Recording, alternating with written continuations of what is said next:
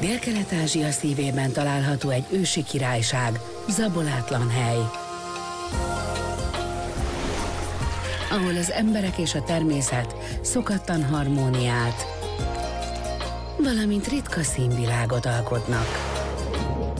Fedezzék fel az országot, ahol minden zug csodát rejt. Tájföld, természet és varázslat. Július 1-én hétfőn indul a Viaszat Nature-ön.